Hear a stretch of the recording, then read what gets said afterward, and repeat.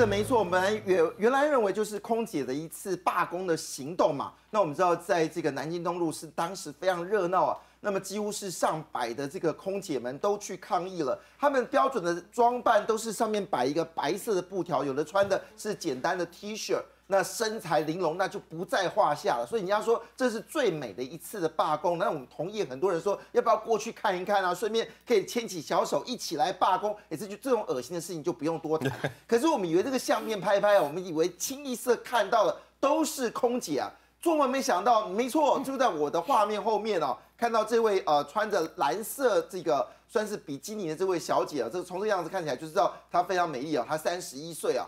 那么他搞了半天，他不是空姐，但是却变成是各大媒体疯传的这个网络新闻呐。因为你知道，网络在脸书，你只要 po 上美女照，肯定是很多的赞。那你要想说赞吗？那就把美女照拍上去。简单的例子，这个十七小姐只要拍出她那个美美的志玲的相片，就是赞数挑高。但是她讲评论的时候，就没有人给她按赞，就是这么现实。好，这是怎么回事呢？假空姐也去罢工了。那因为手机被他拿走嘛，我跟他抢啊，然后他就拿电风扇砸我。家人嫂占水产大亨，混编家暴内幕大公开。已经落幕的华航罢工案，却因为空姐照引发案外案。许姓女子被无心前夫指控假空姐淘气抛弃小孩，而且还是个拜金、生活豪奢的女人。三百五十万的钻表，一百二十四万的爆项链，二十七万的包包，甚至连前妻以前跟姐姐在西门町红包场驻唱过。婚前曾经跟两名男子生下两个孩子，全给他掀了出来。现在前妻也反击了，我积蓄大概两百万，然后我又跟我姐姐两百万，又跟我一个朋友三百万。两人辛苦吃泡面打拼，甚至连怀孕都还挺着肚子，手剥着冷冻虾仁，剥到流血。结婚第三年、第四年开始，到现在我们陆陆续续买了四间房。那现在公司就是全部变他的，钱全部也在他那，我一毛钱都没有。那我要怎么生活？那珠宝，我为什么会叫他问他可不可以买给我？因为他已经外遇不见了。那我就会觉得说，看能不能就是要一些比较钱的东西。我确实有问他可不可以买给我，可是呢，可是呢，完全没有买，因为他要抢我的手机，然后再推我去撞那个墙壁，然后再他就在掐我脖子。就是我被误会就被误会了。算了，没有关系，因为我觉得相信我的、支持我的人，他们永远会当我的朋友。我没有他。好，到底是怎么回事？真的有点丈二金刚摸不到脑袋。到底又是前妻，前妻后面有一个小三扶正，小三完又另外小三出国。哇，这个水产行业有这么好赚啊？可是整个过程当中，观众朋友不不知道你注意到什么？其实我注意到一只手表，一只手表要三百五十万。哇！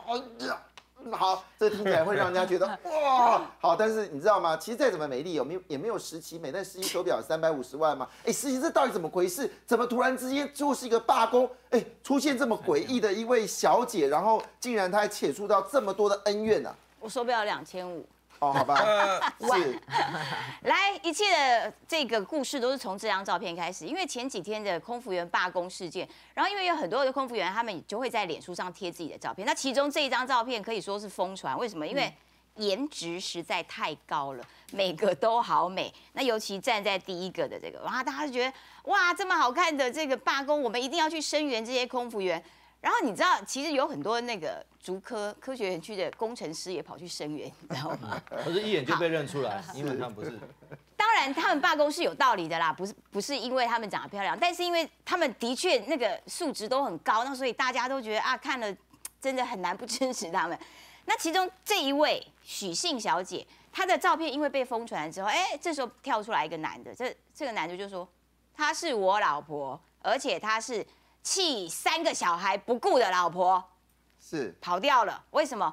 原来啊，就是因为这个这个娶姓女子说，因为她老公呢在外面养小三，跟小三呢这个花费很高，每个月要开六十万，而且还买了三哎八八百万吧，八八九百万的宾利车，宾士车给那个小三。对，然后呢，这个许姓小姐就非常的不高兴，她说，虽然我不是空姐。但是难道我不能够去支持一下我的空姐朋友吗？那所以他就去现场支持他的空姐朋友，就跟大家一样绑上了罢工的布条，跟他们合拍了一张照片。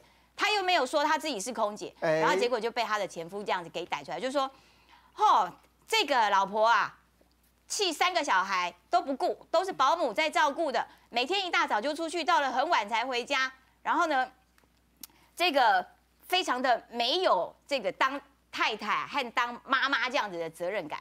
那结果这个姓许的女生，她也不甘示弱，就跳出来说：“明明就是因为你养了小三，你们的花费这么的高，等等等等的，然后才会造成今天这样子的结果。而且我们已经分居了，重点是你还对我家暴，我还有验伤单，请各位媒体拿看看，这是他打我、伤害我的这些证据。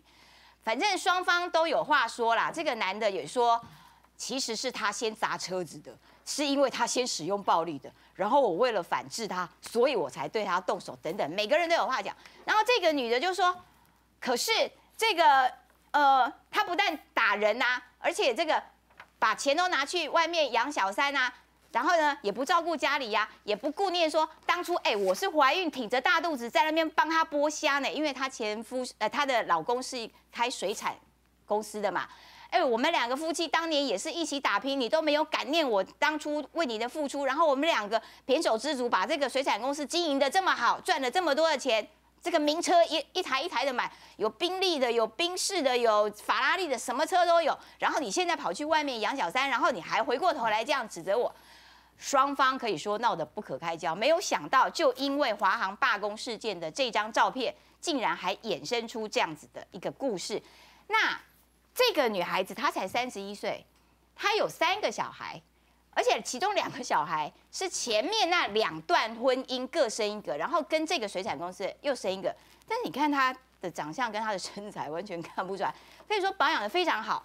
那她的先生就指责她说，她根本就是个花钱精，还跟媒体出示他们的手机的对话的照片，然后呢就说这个女的呢。就会拍照片，譬如说我们刚刚看那个手三百多万的手表，对，买给我，我想要这只表，哎呦，要不然就是弄的一个包包，哦，这个包包好漂亮，哎呦，买给我二十二三十万的包包，对，那这个水产的老板他也觉得，哦，这样子开机实在是受不了，但是这个女的就觉得。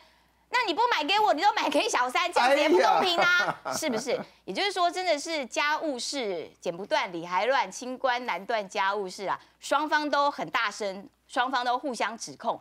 可是我觉得啦，就是说，三个小孩毕竟还是需要爸爸妈妈照顾的啦。那不要因为这些事情，你看大人在这个。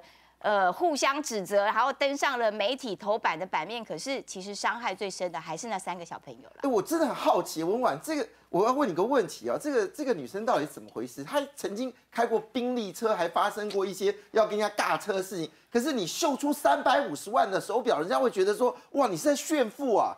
没有啊，对他来讲，那个应该是基本配备。我在想 啊，没，因为因为他们的层级，我觉得有些人的层级是我们没有办法想象。我没办法想象。像三百五十万，我们如果有的话，我们就去买房子。对。买其实听杰明哥的，哎，我们是不是要去买什么股票？趁现在全球欧债危机，不是英国脱欧，赶快冲去买欧洲。绝对不会去买一个表戴在身上嘛。我是觉得我印象很深的是，大概前几天，因为现在网络什么各方面太发达。对。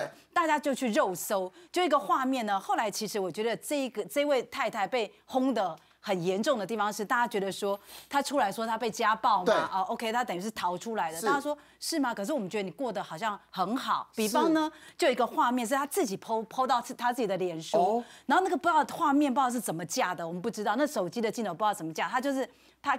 那个飙他那台宾利，宾利车是宾利车，然后里面全部都是酒红色的那个皮椅，哎呦，你知道吗？那个在加嘛，那个镜头是整个是拍他的那个那个时速，因为那个不是我们那个会左到右那种的，是它是那种数字这样，就是呃，我看从两百二整个就消失了，知道吗？到两百二等于是破表。就两百二之后，就是电脑就不显示了嘛，破表，他就就这样飙他的车，那大家觉得说，哇，那你这样也等于是违反交通规则嘛？你把高速公路高速公路当赛车场了。看起来这位美丽的小姐，她其实真的是大有来头哦。我想，也许她已经看惯什么叫做十几万花下去没有感觉，搞了半天，她之前曾经在红包厂啊，红包厂是什么样的环境呢？里面似乎斗争的非常厉害，因为有些有钱的阿伯。